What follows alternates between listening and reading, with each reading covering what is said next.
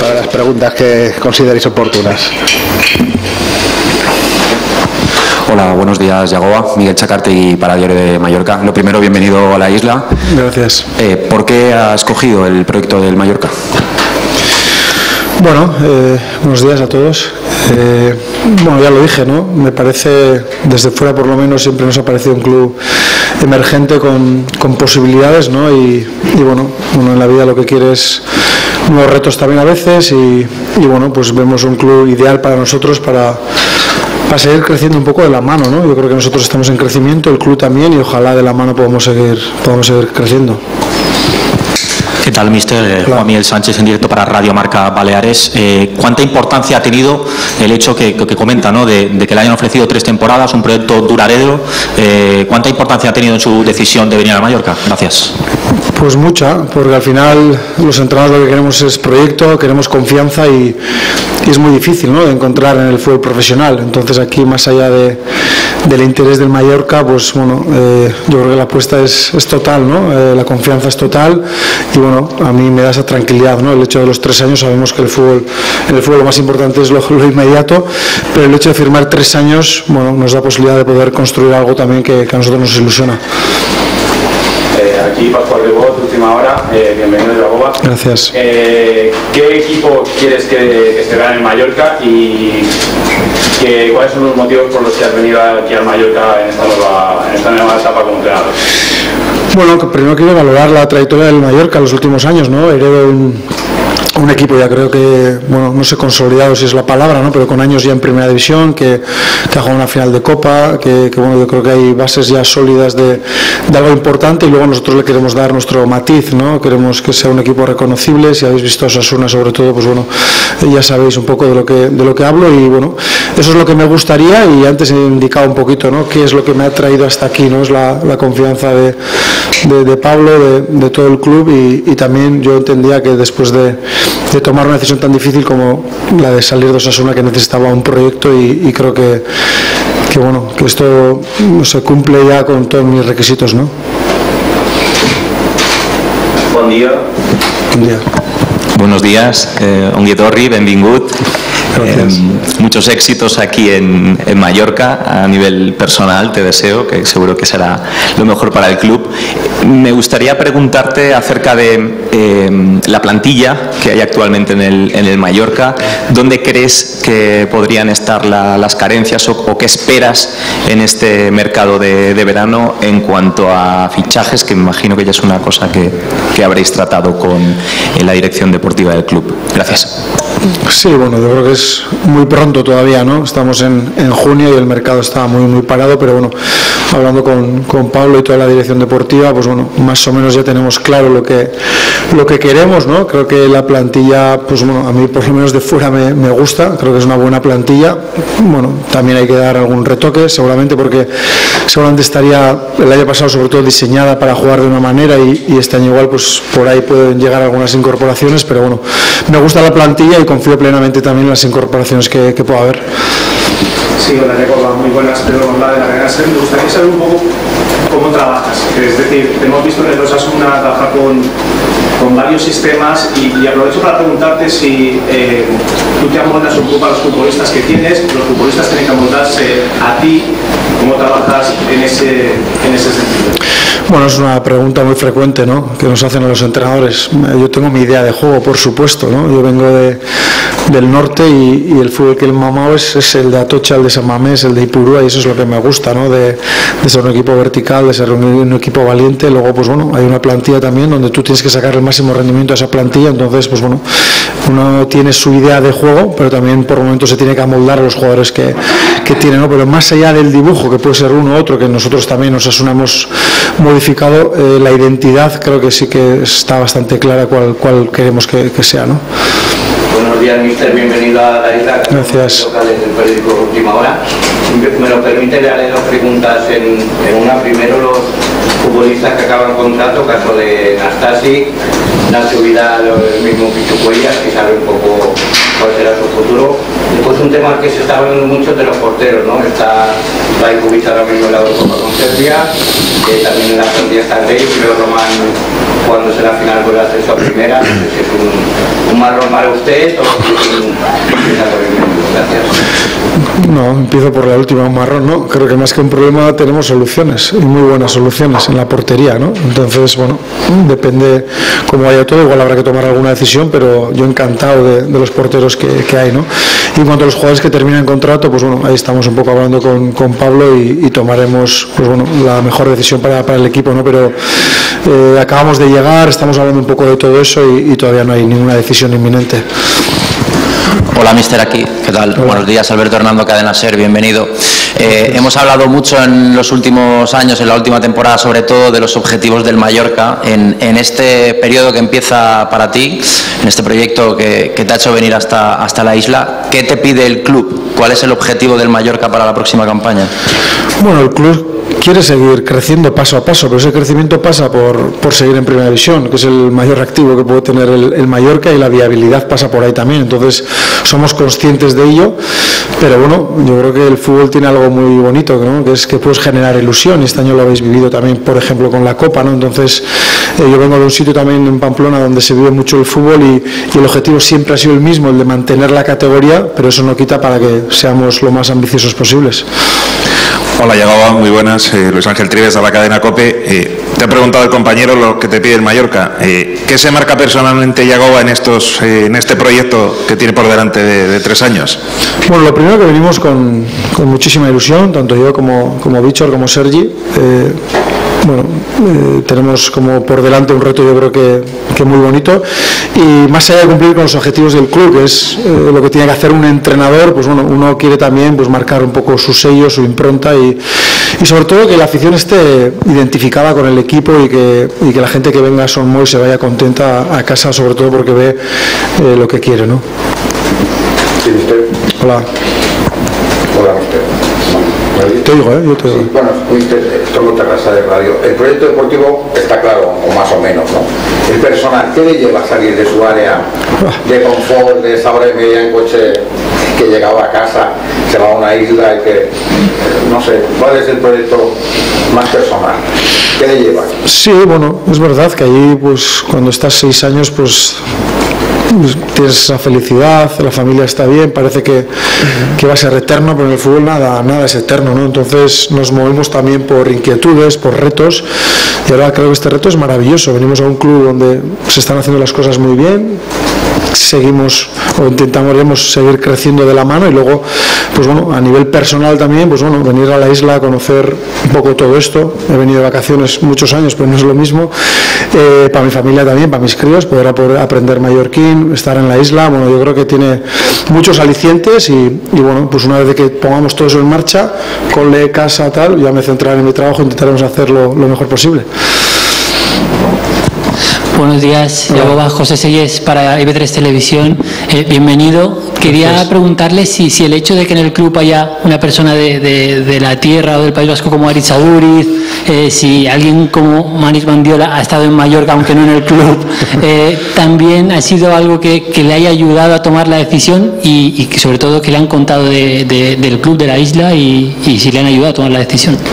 Sí, a ver, no te voy a engañar, han sido dos personas muy, muy importantes, ¿no? Porque, bueno, eh, con Manis Mandiola me une una amistad desde hace mucho tiempo, solo que he venido más a Son Malferito, al Estadio Balear, que, que a Son Mois, que ha hecho grandes temporadas aquí y él siempre me decía que, que, era feliz aquí, que se vivía muy bien y luego, bueno, más allá de hablar con, con Pablo, pues Aritz también ha sido una persona muy importante, ¿no? Para tomar una, una decisión como esta, ¿no? Porque nos ha hablado un poco del club, nos ha hablado de su interés también, eh, para él también era importante, pues bueno, que nosotros estuviésemos aquí para seguir creciendo, entonces, bueno, son dos personas que, que al final han tenido su peso a la hora de tomar esta decisión.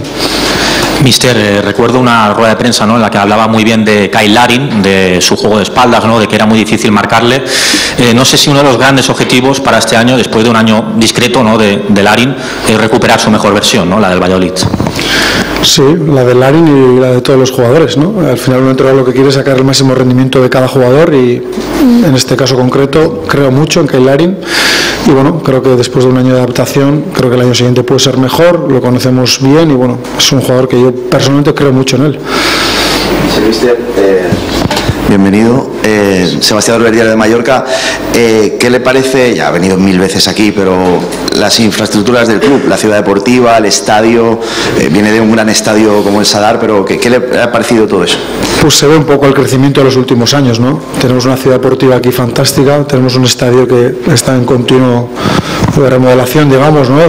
ya la cuota de socios también va para arriba, yo creo que se está generando algo bonito y en ese aspecto, pues bueno, yo creo que va a la par un poco con el crecimiento del club y lo que queremos es que esto no pare, ¿no? Que siga creciendo poco a poco. Buenos días, aquí Tony Fuster y B3 Radio. Lo quedó bien en Pamplona, en Valle de Hues. Estuvo viendo, creo que el Mallorca en Copa. Sí, sí, sí. Nos vemos allí. No sé si en aquel momento ya se intuía alguna cosa o algún contacto. No lo sé, ¿eh? En, aquel, en aquel momento, ¿eh? Y luego, si ha hablado un poco también con Aguirre, con Luis García, para ver un poco la estructura, cómo es el equipo, cómo es la, la ciudad, la isla, un poco el club. No, mira, eh, yo vivía en Mutilva, entonces el Valle de Hues jugó en el campo de la Mutilvera ese partido y, fuimos eh, a verlo y, me acuerdo además del partido que, el primer tiempo fue igualado, luego se puso por delante con el Mallorca con un gol de Dani, creo que fue, y luego ya ganaron 0-3, pero bueno, para nada, era muy pronto todavía. Y pues sí, sí, al final, bueno, con, con, Aguirre tengo una fantástica relación. La semana pasada nos cruzamos mensajes, me felicito también y bueno, eh, supongo que hablaremos también. Y, luego con Luis García lo mismo y sobre todo con el que más he hablado ha sido con, con Vicente Moreno, ¿no? Porque él también, como he ido a Pamplona, pues estuvimos un buen rato hablando, yo diciéndole cosas de Osasuna y él de, de Mallorca y se agradece, ¿no? Que la gente se preste un poco a, a allanar un poco ese, ese camino, ¿no? Porque los inicios nunca son fáciles y todos tenemos como mucha incertidumbre y muchas inquietudes. Thank you. Hola, mister. Aquí Alberto Cercos para el Termarque de Mediaset. Hablando un poco de ese crecimiento deportivo que comentaba antes, eh, usted, por ejemplo, en Osasuna, y lo, lo, recordó un poco en su despedida, la, la, cantera, el filial, ha tenido una importancia superlativa para, para su estilo y, demás. Eh, miraba incluso 21 jugadores se ha hecho debutar en, esos seis años. ¿Qué importancia cree que puede tener el filial del, del Mallorca, que por ejemplo el B está a punto de, subir a Segunda Federación, el, el, juvenil también ha hecho una muy buena temporada? ¿Ha, ha investigado un poquito cuál, cuál puede ser un poco esa hoja de ruta? Sí, nosotros creo que en eso no somos dudosos, ¿no? Venimos de la cantera de la Real Sociedad, que hemos trabajado en el fútbol base, tanto yo como entrenador, como Víctor Alquiza, que fue el director de fútbol base, y nos suena un poco lo mismo, ¿no? En el norte, pues bueno, al final sabemos que el mayor activo de los clubes es, es, la, es la, cantera, y aquí, pues bueno, tiene que ser un poco lo mismo, ¿no? Yo creo que, como bien has dicho, el filial está para, para subir a segunda red, el juvenil ha hecho una gran campaña, pero más allá de, de las competiciones, de las clasificaciones, lo que queremos es formar jugadores y personas para el primer equipo, ¿no? Y en ese aspecto eh, nos gusta eh, mirar en casa, nos gusta trabajar con, con, con, la gente de casa, pero bueno, todo tiene un proceso y ojalá pues eh, en los siguientes años haya muchos jugadores de, de la cantera del primer equipo. En su momento se dijo que el contrato podía ser de dos años más opcional, es de, de, tres temporadas si no hay ninguna cláusula, ¿no? Y en otros sentidos, si ya sabéis dónde será la de temporada, que ya se incorporarán los jugadores. Sí, el contrato es de, de, tres años, eso es lo que está firmado, luego cumplirlos ya es otra cosa, pero bueno, será buena señal, o igual estaremos seis, como en Pamplona, que es que será bueno para, para todos y, y bueno, estamos con muchísima ilusión ¿no? de, de, arrancar y no, estamos con los últimos flecos ya de, de pretemporada, de stage, un poco todo y supongo que los siguientes días ya habrá más información al respecto. Sí, a mí me gustaría preguntarle curiosidad de saber un poco cómo suele trabajar, en este caso será con, con eh, el tema de, la Secretaría Técnica. Eh, si usted es de los que pide jugadores concretos, posiciones, no pide nada y que se encargue la, la Secretaría Técnica, ¿cómo lo Bueno, normalmente me gusta ir de la mano, ¿no? Al final eh, creo la dirección deportiva y hay gente cualificada ahí, han visto un montón de partidos, un montón de jugadores y lo que hacemos es un poco, pues bueno, eh, poner en común un poco la información que podamos tener, ¿no? Eh, nosotros venimos de trabajar un poco así, ¿no? de que a mí me gusta estar encima, pero bueno, yo soy un hombre de club también, entiendo las situaciones de club, entonces la mejor manera creo que es con esa información, yendo de la mano porque es lo mejor para todos y, y en este caso, en el poco tiempo que llevo con Pablo, está siendo así. Sí, eh, Yagoba, eh, ¿es tiempo suficiente o eh, dicho de otra manera, eh, ¿cuánto tiempo necesita un entrenador para preparar un equipo? Eh, hoy se sortea el calendario de la liga, empezará el 17 y 18 de agosto, 19 equipos, a ver qué pasa con Español y con, y con Oviedo. En ese sentido, eh, ¿en qué punto crees que va a empezar el equipo la liga? No tengo ni idea, y porque al final el fútbol, el tiempo, pues ya sabemos cómo es, hay que ganar el primer partido de liga, incluso ahora se valoran hasta las pretemporadas, ¿no? con, con tanto foco que, que hay, pero bueno, eh, al final entiendo que llegamos a un sitio nuevo y, queremos, pues la forma de entrenar seguramente tendrá que haber una adaptación a eso, eh, la idea de juego también, pero bueno, tampoco soy yo de pedir tiempo, yo sé que la jornada 1 hay que intentar ganar y, en esas nos vamos a, empeñar, ¿no? Eh, en Pamplona, por ejemplo, bueno, el, al equipo le costó un poco coger esa idea del primer mes, pero bueno, eso no quiere decir que aquí sea igual al revés, ¿no? Lo que queremos es hacer una buena pretemporada y cuanto antes ya que el equipo esté cómodo con las ideas que queremos implantar. Sí, mister. Hola. Sí, mister. Eh, eh, ¿Cuál es su, creo que un compañero lo, lo, ha intentado preguntar, no sé si lo ha contestado, o lo ha preguntado, no sé si lo ha contestado, su, su timing de trabajo, o sea, de, de lunes a, al día de partido un poco, ¿no? Usted de los que de, los jugadores desayunan en la ciudad deportiva, comen, ¿cómo, cómo lleva todo esto? Bueno, a mí lo primero me apasiona mi, mi trabajo, es algo vocacional, ¿no? Eh, yo soy profesor también, entrenador de fútbol y en, las dos, en los dos ámbitos, digamos, es algo vocacional.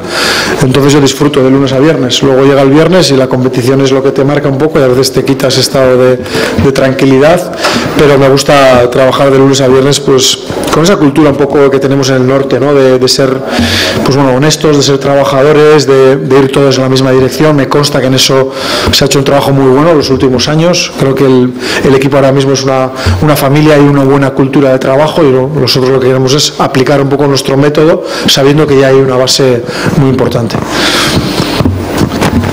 Sí, pregunta per Pablo Orteix, a veure si ja teniu, no sé, míster, que no, encara no m'he vist el torneig. Està pràcticament tancada. Durant els pròxims dies eh, anunciarem tot quan estigui tot ben tancat. Sí que podem dir que el, el dia 8 de juliol serà el, l'inici amb proves mèdiques i a partir d'ahir ja t'he dit que en els propers dies falta per tancar ahir algun partit i, i confirmarem tot.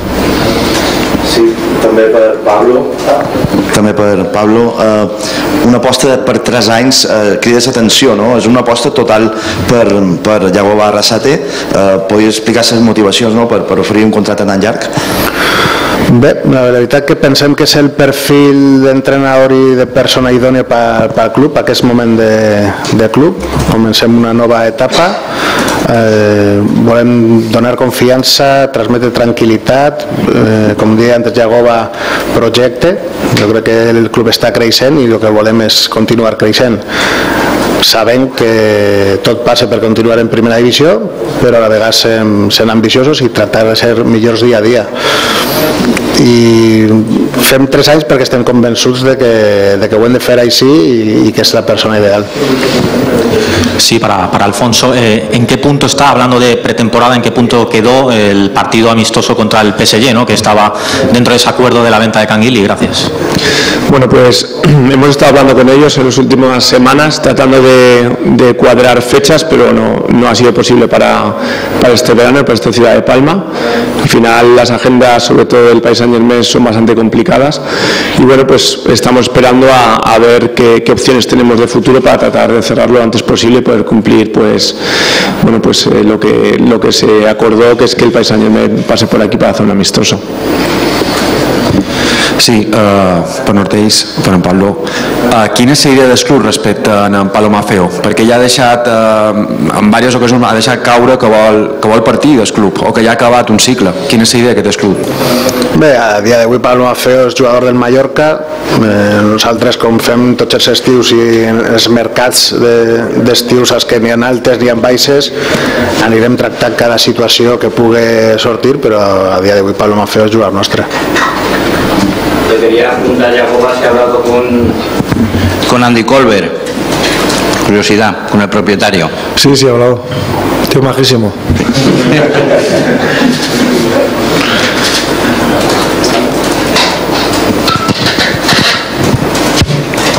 Sí, una pregunta para Pablo Hortels y también, si me permitís, rebotarle a, a Yagoba. Ayer por un, por un motivo, por unos motivos o por otros, fue Matt Hummels el nombre de- del día. Quería preguntar, eh, en ese ofrecimiento al, al club de, de Matt Hummels, ¿cuánta viabilidad puede haber en, un posible, en una posible incorporación, en una posible negociación? Y si me permitís rebotarle al míster, si fuese posible que cosas más raras se han visto, ¿cómo verías la incorporación de Matt Hummels al Mallorca? Gracias. A ver, eh, la verdad que a todos nos sorprendió un poco el, tema. Es una, a día de hoy no hay nada con Matt Hummels. Pues, eh, Esto es una situación que recibo yo una llamada de una persona que no sé ni quién es, ni sé si es el agente del jugador, que no decimos nada y a la media hora aparece la noticia en prensa. A partir de ahí, la, la bola o la viabilidad yo no se la he dado, no sé quién se la ha dado, pero no hay absolutamente, no hay absolutamente nada de ese tema. Como no hay nada, pues tampoco te puedo decir nada. Viatge que vareu fer a Japó, a més del tema comercial que vareu firmar, hi ha possibilitat que vengui qualque futbolista d'allà, asiàtic? ¿Algún futbolista?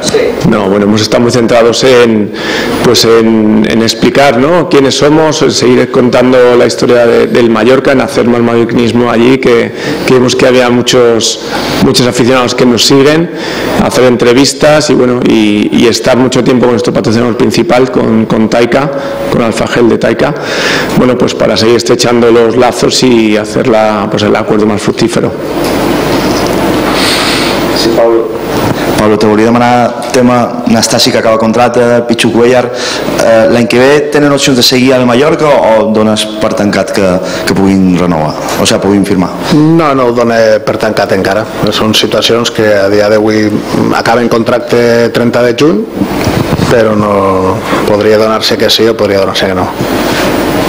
Sí, eh, Pablo, quin és el marge econòmic que té Mallorca en aquest mercat? Perquè l'any passat se van fer dues inversions molt importants, tant per el Darin com per en Darder. Quin, quin és el marge que té enguany? S'ha de vendre jugadors per poder firmar?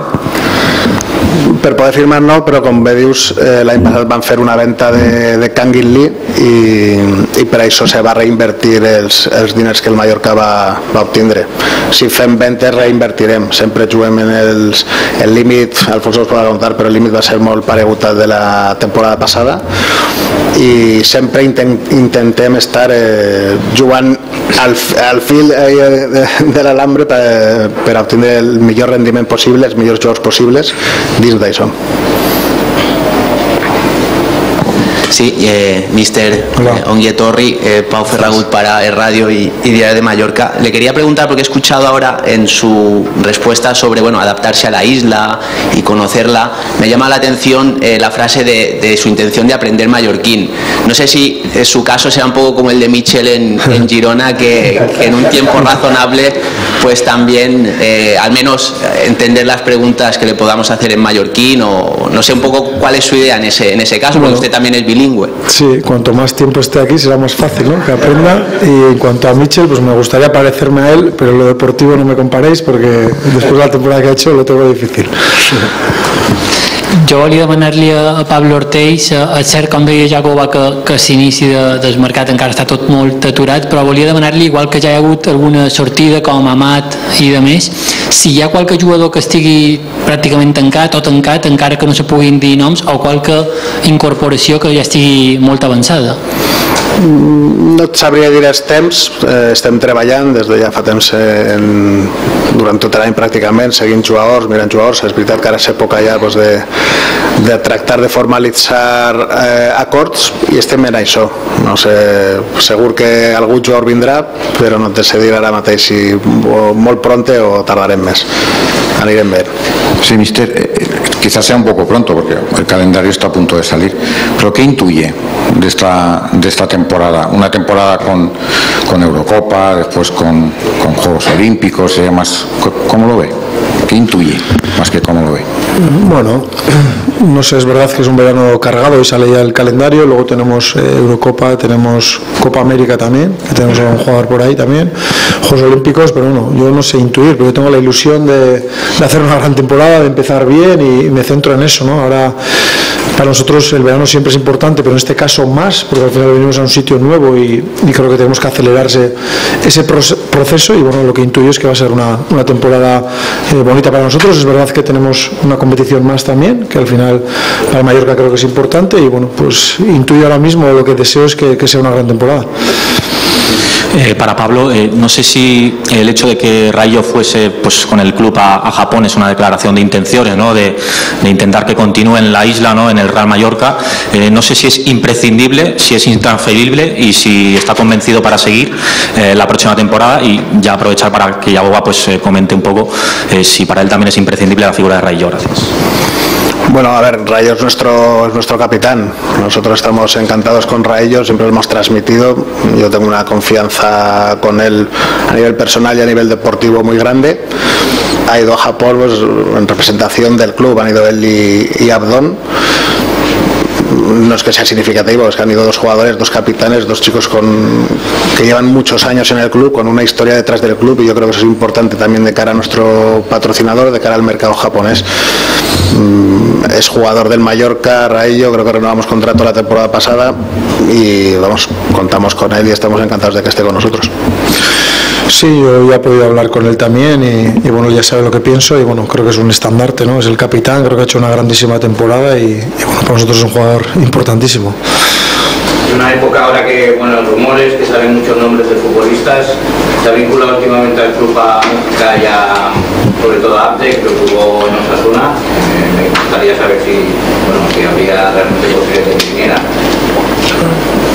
Yo te puedo decir cómo son los dos porque los he tenido, que hay posibilidades o no, eso ya se me escapa un poco, ¿no? Pero, pero bueno, como tantos jugadores, ¿no? Ahora, si hacemos caso a los rumores, pues se nos va a poblar la plantilla, seguro, ¿no? Entonces, creo que tenemos claro lo que necesitamos y a mí tampoco me importa, cuanto antes vengan mejor, pero no me importa esperar un poco si de verdad luego vienen aquellos jugadores que entendemos que nos pueden dar ese salto de calidad.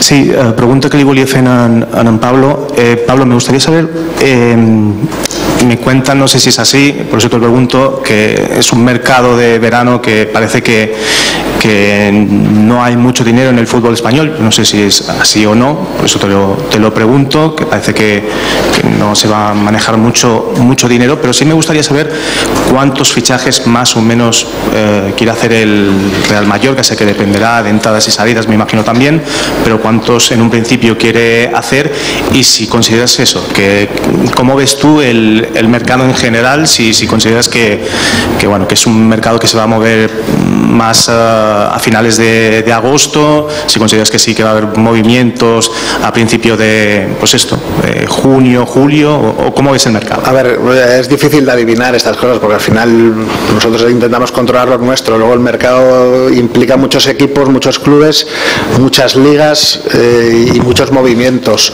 Es verdad que cuando acaban las ligas siempre parece que se vaya a hacer todo en, dos semanas, que todo el mundo estamos ahí nerviosos y atentos y luego la realidad es que no se cierran tantos, no se cierran tantos jugadores en, ese plazo.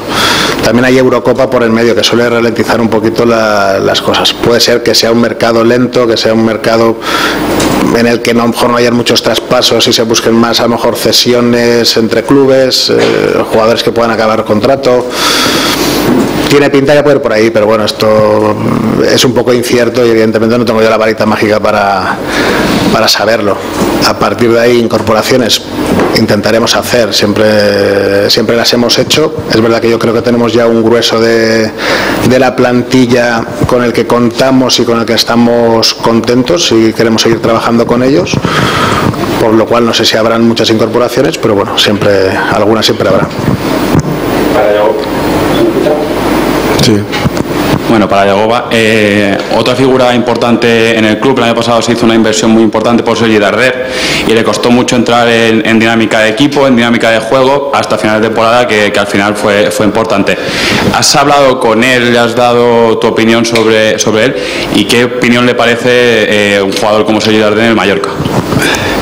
Bueno, todavía no he hablado con él, pero hablaré y a Sergi le conozco desde hace un montón, ¿no? cuando estaba en la cantera del español y yo en la Real Juveniles, imagínate desde hace muchos años. Y bueno, creo que es un jugador muy, muy, muy importante y este año, pues bueno, pues seguramente su, su rendimiento no sé si ha sido el mejor, pero bueno, sí que es verdad que ha terminado la temporada muy bien y, esperamos sacar el mejor, mejor rendimiento de Darder, ¿no? Es un jugador de aquí, es un jugador importante y bueno, con Darder y con todos lo que necesitamos es primero que se encuentre cómodo y tocar esa tecla para que dé el mejor rendimiento y yo espero mucho de, de Sergi. Jo volia demanar a Pablo, tenint en compte el bon catàleg de porters que té el primer equip, eh, si se plantejarien, si després de l'Eurocopa arribés una bona oferta per en Rajkovic, eh, vendre'l. Bé, són situacions que sempre tractem quan rebem ofertes per jugadors les, les valorem. A vegades eh, són positives i donem el pas de vendre i, i de vegades pues, continuem en, en els jugadors. Mm, seguirem la tònica habitual de treball. Jo sempre dic que si, arriben a acords és perquè totes les parts estan satisfetes i contentes. Pues, si, si arriba el cas sí, i si no arriba el cas pues, seguirem contents. Com ha dit Jagoba que tenim molts bons porters Sí, eh, para Alfonso, ¿cuándo tiene previsto el club sacar la campaña de abonados y sobre qué línea se va a mover? ¿Si parecida este año, si se va a aumentar o los precios? Bueno, eh, estamos trabajando ahora mismo en ello. Yo creo que la semana que viene ya podremos sacar la campaña, os informaremos y bueno, tenemos tiempo para explicaros todos los detalles de la campaña, en qué línea va a ir, pero bueno, trataremos, entendemos que, ha habido bueno pues eh, cambios ¿no? desde que empezamos la remodelación del estadio, donde nos hemos asentado toda la afición ¿no? en, nuestra nueva casa y bueno pues trataremos de hacer algo que sea eh, asequible ¿no? para todo el mundo y que podamos seguir creciendo, ¿no? que hemos tenido un gran crecimiento, 21.000 abonados y ojalá que podamos seguir creciendo en más social porque eso al final está mostrado ¿no? que, que ayuda a ganar partidos en casa, ayuda a tener más afición y que este mallorquinismo pues siga tan vivo como hasta ahora. Sí, también para Alfonso, eh, el año pasado llegó la venta de Canquin Lee, que fue una, barbaridad para lo que es el Mallorca, ¿no? Fue mucho dinero. ¿Tiene necesidad el Mallorca de vender o no tiene ninguna necesidad para eh, reforzarse? Bueno, un poco en, línea ¿no? con, lo que ha comentado Pablo. Nosotros al final trabajamos siempre con, la- con las posibilidades que tenemos, nunca más allá. Como, como bien ha visto, estos años hemos sido pues, tratar de ser autosuficientes, autosostenibles. Siempre que haya una venta se reinvierte otra vez en, el equipo, en el club, que, es lo importante. Y, bueno, pues siempre que haya una venta, si lo hay esta temporada, este, este mercado, pues eh, se pensará en seguir creciendo a nivel de plantilla y, siempre con los pies en el suelo, ¿no? de no hacer locuras, de no, no meternos en problemas a nivel económicos que, que, que pongan una situación complicada del club. Yo a Yagoba quería preguntarle, eh, bueno, este año jugarán eh, Liga, Copa y también Supercopa en Arabia, que si no recuerdo mal usted ha estado con, con Osasuna. ¿Cómo es esa experiencia de, de jugar eh, una competición allí? Bueno, espero estar más días que el año pasado, que solo jugamos un partido, aunque el rival va a ser complicado. Y sí, es una experiencia muy diferente, muy diferente, y entiendo que para el club es, es importante. Y bueno, pues cuando llegue enero hablaremos de, de ello, porque es una competición atípica, digamos, y, y para el club pues no es lo normal jugar una, Supercopa seguramente, y cuando llegue, pues bueno, seguramente pues todos nos ilusionaremos, ¿no? Pero ahora mismo creo que hay otras competiciones que tienen mayor eh, relevancia. Sí, para, para Pablo Ortiz. ¿Cómo le ha vendido a la propiedad al mister? ha cogido a Colbert, ha cogido... ¿Y cómo se la, se la ha vendido? Porque hay muchos entrenadores y has cogido al que usted tiene aquí sentado. ¿Cómo se Bueno, ha la verdad que en ese sentido yo creo que el presidente eh, es muy conocedor de la liga, es muy conocedor de los entrenadores de la liga y, y ya era conocedor de la, de la trayectoria de Yagoba.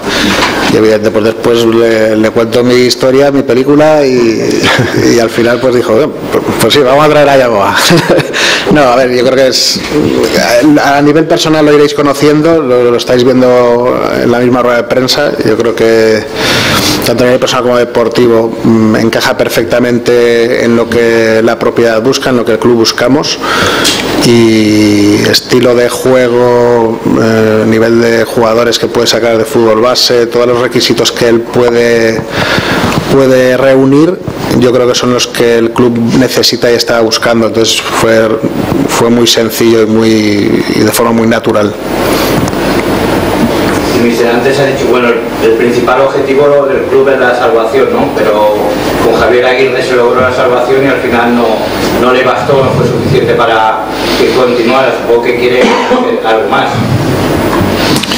Bueno, yo acabo de llegar y desconozco un poco los, los, motivos, ¿no? pero a ver, lo que está claro es que la viabilidad del club pasa por estar en plena división. Yo creo que eso somos conscientes todos. Por suerte, los últimos años eh, el equipo ha sido capaz de, de, conseguir ese objetivo, pero yo creo que el fútbol al final es el motor de mucha gente, entonces necesitamos que, que la gente se identifique con el equipo, que esté orgullosa de ver al Mallorca, de que cuando venga aquí lo pase bien, si podemos ganar, ganar.